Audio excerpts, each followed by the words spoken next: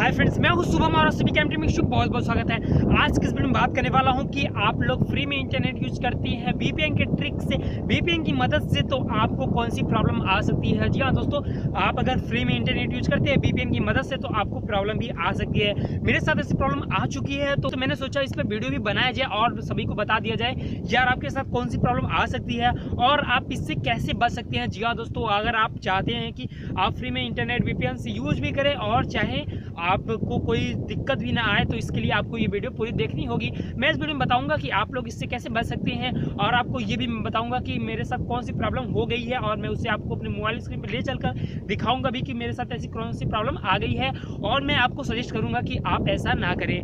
दोस्तों, मैं जब भी कोई वीडियो बनाता हूँ वीपीएन ट्रिक के ऊपर तो मैं आपको बताता रहता हूँ उसमें कि आपके साथ कौन सी प्रॉब्लम आ सकती है। मैंने बता रखा है हर वीडियो में, अक्सर सभी वीडियो में बताता हूँ कि यार आपका, आपके साथ ऐसी प्रॉब्लम हो सकती है कि आपका इंटरनेट चलना बंद हो जाए। यदि आप डाटा पैक कराते हैं, फिर भी आपका इंटरनेट ना चले, ऐसा हो सकता है। या फिर हो सकता है कि आपका कॉलिंग ही ना जाए, या ऐसा हो सकता है कि यार आपका नेटवर्क पूरा का पूरा चला जाए, यानी कि आपका सिम पूरी तरह से ब्लॉक्ड हो जाए। जी हाँ दोस्तों, ऐसा हो सकता है आपके साथ दिक्कत। तो इससे बचेंगे कैसे, ये भी मैं बता रहा हूँ। तो सबसे पहले सुन लीजिए यार, मेरे साथ क्या हो गया है कि मेरे मेरे में भी कॉलिंग वॉलिंग नहीं जा रहा है, मेरे में फुल नेटवर्क है, लेकिन कॉलिंग नहीं जा रहा है। न ही कोई इंटरनेट चल रहा है। मैं, अब मैं जब एक, मैंने आपको पिछले कुछ वीडियो में बताया था कि मैं एक ऐसा ट्रिक लाने वाला हूँ वीपेन का, जिससे आप किसी भी सिम से फ्री में इंटरनेट चला सकते हैं उस वीपेन की मदद से। तो मैंने जब उस वीपेन में वीडियो बनाना स्टार्ट किया, जब मैंने ट्राई किया तो मेरा इंटरनेट चल ही नहीं रहा था।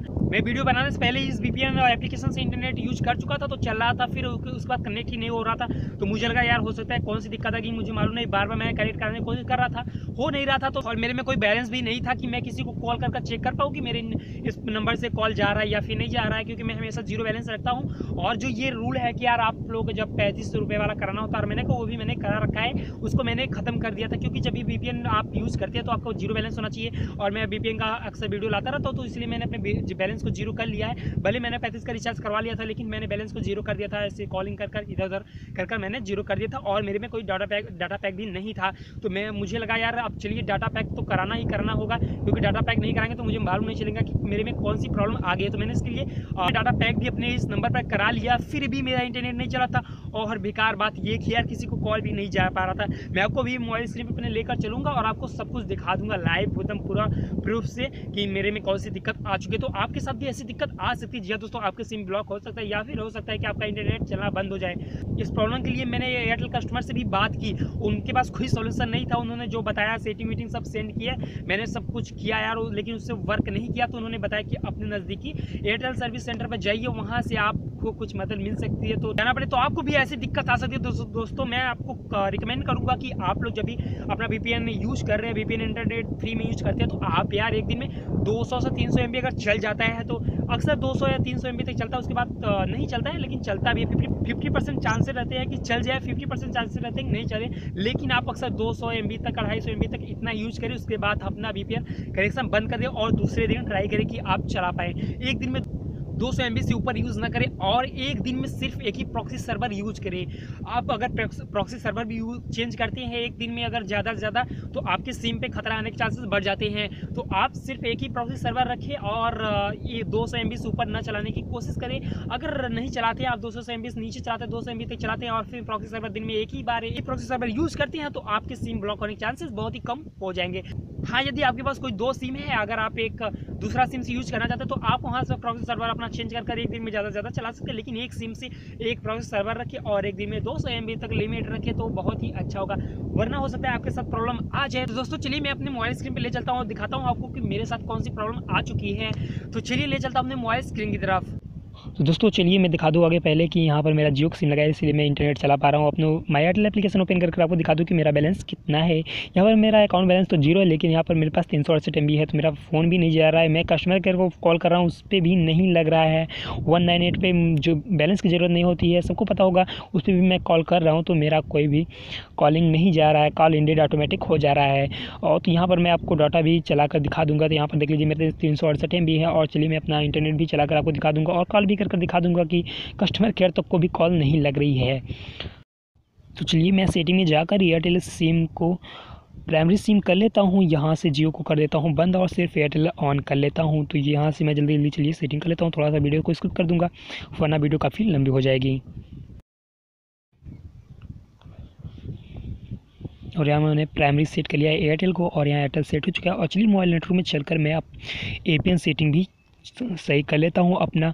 यहाँ पर देख लीजिए एल टी ओनली है और वहाँ, और ये जो देखिए हमारा ए पी एन इसे मैं चलिए रिस्टोर कर लेता हूँ। यदि कोई सभी दिक्कत होगी इसमें तो ऑटोमेटिक ये सही हो जाता है यहाँ पर रिस्टोर सिर्फ़ कर लेने से। तो चलिए मैं रिस्टोर कर देता हूँ, ये रिस्टोर हो रहा है मेरा ए पी एन सेटिंग और ये रिस्टोर हो चुका है। तो चलिए मेरा ए पी एन सेटिंग भी सही हो गया है और ये एल टी ओनली भी यहाँ पर मैंने कर दिया और चलिए मैं अपना डाटा कनेक्शन ऑन कर लेता हूँ अब। और यहाँ से मैंने डाटा कनेक्शन ये कर दिया ऑन और यहाँ पर देख लीजिए, ऊपर एलटी भी पकड़ लिया है। यानी कि अब मेरा नेट चलना चाहिए। और चलिए मैं कुछ भी ओपन कर कर देख लेता हूँ। तो चलिए यहाँ से यूट्यूब को ओपन कर लेता हूँ मैं। और यहाँ पर यूट्यूब हो गया है स्टार्ट लेकिन यहाँ पर कुछ आया नहीं। यहाँ पर एल पकड़ा हुआ है। यानी कि यार 4G और 4G पकड़ा हुआ है तो इतनी में तो आ जाना चाहिए। और यहाँ सिर्फ़ बफरिंग ही चल रहा है। तो हम लोग वेट कर लेते हैं, क्या होगा? थोड़ा सा वेट कर लेते हैं। और यहाँ आ गया यू आर ऑफलाइन यानी कि यार मेरे पास कोई भी डाटा पैक नहीं है, ऐसा कुछ बताया जा रहा है यहाँ पर जो कि मेरे पास आप लोग पता होगा कि डाटा पैक है, चलिए मैं यहाँ से थोड़ी सी ए अपने सेटिंग में कुछ चेंजेस कर लेता हूँ। इससे हो सकता है कि चल जाए, चलिए मैं मोबाइल नेटवर्क में जाता हूँ और अपने एयरटेल सिम पर जाकर एपीएन सेटिंग को चेंज कर लेता हूँ। यहाँ से मैं एलटी पे सेट कर देता हूँ, शायद इससे चल जाए, लेकिन इससे भी नहीं चलेगा। मैंने सब कोशिश कर लिया है आपको दिखाने के लिए। मैं यहाँ पर बस कर दे रहा हूँ। एल टी मैंने यहाँ पर कर दिया और चलिए अब मैं बैग जाकर इंटरनेट को चलाता हूँ। हाँ यहाँ पर एक मिनट अभी, नेटवर्क आगे अभी आया नहीं, कुछ एपीएन में चेंजेस किया है, इसलिए भी हाँ ये यहाँ पर इंटरनेट स्टार्ट हो चुका है यहाँ नीचे आ गया है, यू बैक ऑनलाइन आ गया है, लेकिन क्या देखते हैं, चल पाता है यार। मेरा नेट और नहीं चलने वाला है। यहाँ पर मैं वीडियो को स्किप करूँगा यार, क्योंकि वीडियो काफ़ी लंबी हो रही है तो यहाँ पर देख लीजिए कि मेरा भी कुछ भी नहीं चला तो चलिए मैं आप दिखा देता हूँ कि मेरा कोई कॉलिंग वॉलिंग हो रहा है या फिर नहीं हो पा रहा है। और और चलिए यहाँ से मैं अपने कस्टमर केयर को कॉल कर लेता हूँ। वन नाइन एट पर यहाँ से ये जो कि टोल फ्री होता है, और यहाँ देख लीजिए कॉल इंडेड तुरंत ही आ गया जहाँ पर देख लीजिए यार, कॉल इंडेड आ चुका है और चलिए मैं वन नाइन टू फाइव पर भी कॉल कर लेता हूँ, जो कि कस्टमर केयर का ही नंबर है। एयरटेल कस्टमर केयर का, उस पर भी कॉल इंडेड आ गया है। यहाँ पर देख लीजिए मेरे साथ कॉलिंग भी प्रॉब्लम आ चुका है यार दोस्तों। आशा करता हूँ दोस्तों आपको वीडियो पसंद आएगा कि वीडियो पसंद आए तो लाइक करना मत भूलिएगा। प्लस कोई सवाल सुझाव नीचे कमेंट बॉक्स में करना मत भूलिएगा। मेरे चैनल की वीडियो पसंद आ रहा है तो चैनल कर लीजिए। सब्सक्राइब मिलेंगे वीडियो अगले टाइप तब तक के लिए। Bye bye